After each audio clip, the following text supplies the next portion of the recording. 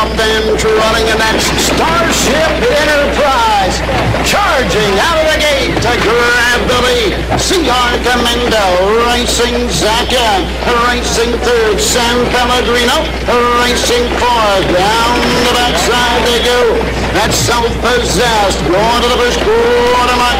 Angus Hall fifth. Armbro Scorpion six. Racing seven. Enjoy love that. The. Raphael Ambrosio at the first quarter. 27 and one fifth. Up on the outside. CR Commando to take the lead from Starship Enterprise.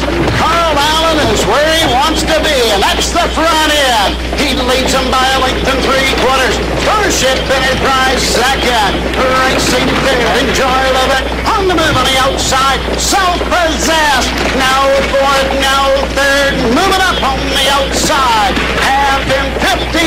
and three. 29 and two. Second quarter.